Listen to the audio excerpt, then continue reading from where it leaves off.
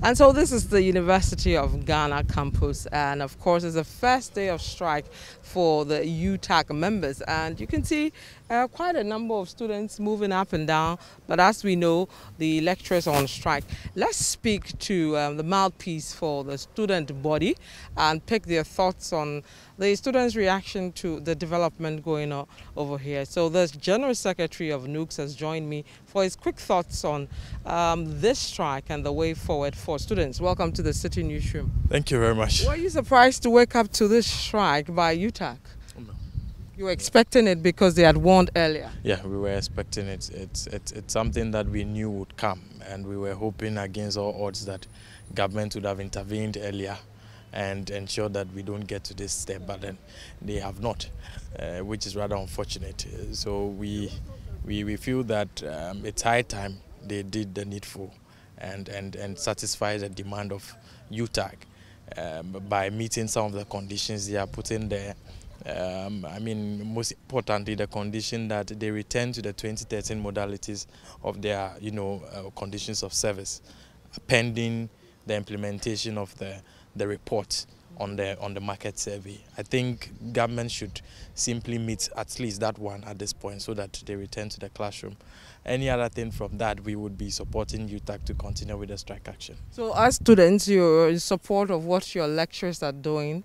Yes, we, we support UTAG to go ahead with the strike because um, last year they were on a strike, uh, somewhere around, I guess, or November, I think. Yeah, okay. We, we all called on them to suspend it because of how COVID interfered with the academic calendar, and then everyone made an appeal to them. They acted in good faith, suspended the strike for exams and all those things to continue for the academic year to successfully end. That's enough breathing room for government to meet them halfway and, and meet some of those demands. But up till now, government has not done any of that. And so the Citi Newsroom, my name is Vivian Kai Lokko. We are staying on the story of um, the strike by UTAG. Remember, last week they said they intend to go on strike if some issues, specifically to do with their conditions of service, are not addressed by the government. We just took you to across a number of um, campuses affected by this strike. So now let's understand the UTAG story, why they have decided to go on a strike now, especially when universities have opened. Let me speak to the president of UTAG, Professor Nunoo, to inquire more about their action. Prof, welcome to the Citi Newsroom. Thank you very much. So basically it has to do with our conditions of service. So conditions of service negotiations commenced somewhere in 2018 and it's been ongoing up to this point. So throughout the period, certain aspects of the document has been looked at and discussed. So at the moment, what we are looking at here, the thematic one has to do with the market premium of university staff. So um, back in 2012, 2013, government decided to pay us an interim market premium, which was 114% of our basic. And then in 2013, April, there was a government white paper that decided to put a freeze on this market premium, subject to the conduction of a labor market survey. The labor market survey, unfortunately, though it was done in um, in, uh, in um, 2014, um, its implementation never saw the light of day.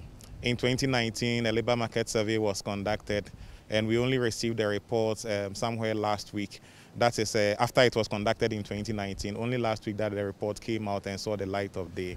Its implementation is something that we see as auspicious, and we think the timing of the issuing of the report is just a camouflage just to um, assuade us to stop the strike action, but its implementation, we are not too sure if government is committed to it. Um, though the prerogative is with government, ensuring that it is paid is what is, is, is, of interest to us as university teachers. So imagine that you were taking a market premium of 114% back in 2013, then a, a, freeze is put on it. Today, the market premium you are taking is just about 50% of what you are uh, of your basic. So in the end, you see uh, some sort of depreciation taking place constantly with government not committed in any way to work on it. So that is what has brought us to where we are today.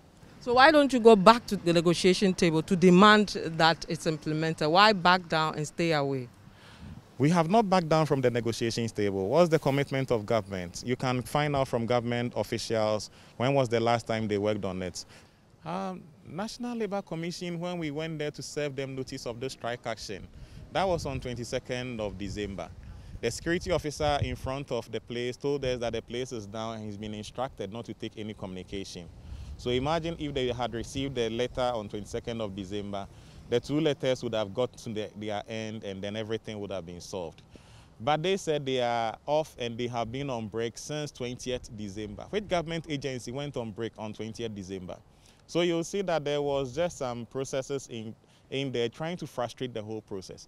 So that is what was done and we were frustrated and we just had to go ahead because um, we managed to email the thing to some of their staff. Maybe they don't work with electronic mails, so they don't want to work with that. So for us, we got the message to them. Kuwait government agency was on break from 20th December to 10th of January. They told us this is the day they are going to resume.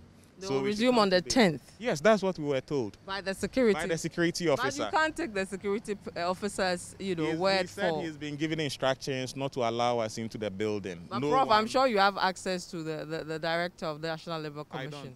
I don't. I don't, I, I, don't, I don't think he knows me. Neither do I. I also don't know him. But your institution has access to him, and you could easily uh, reach out to him if you want to. UTAG, we didn't have access to him. Isn't that interesting, Prof? It's very interesting that he also doesn't know me for him to reach out to me because the letters got to all other officers who needed to know about this. So if he wanted to reach out, he could have done that. But it's like um, a decision on their part that let's frustrate these guys a little. So let's you think National Labour Commission, who is supposed to be independent of the issues, also in bed with other government institutions to frustrate your plans to get things done? Personally, that is what I think. Some of us are not too comfortable with the structure of the National Labour Commission as it stands now. Not just the several other government institutions. You agree with me, changing government. Um, we have a Transitions Act 2012 that will say that any appointee of the president goes home with him. So there's no security of tenure for a lot of these people. And so the person comes in and will always want to do the bidding of the government of the day. If there's security of tenure for most of these government institutions, I think they will have the clout to bite. Would you go to this week's meeting, which is summoning you, and with this in mind that they may not be on your side, how are you going to approach your, the, the conversation? In the end, we'll have to come together and decide what exactly our strategy is going to be, go to the Labour Commission with our lawyers, go and listen to what they have, and then take a decision from there. Um, whatever it is, we'll have to decide. We get to the bridge, we'll cross it. All right. Thank you very much, Professor Nunoo. We wish you well, and we wish you return to um, the, the campuses soon to do full work and not just part work. Thank you very much for having me. Thank you, too, for the sake of the students. So that's uh, Professor Nunoo. He's the national president of UTAG. He's spelled out why they've decided to hold uh, this strike, why they are not going to batch till all their issues are addressed.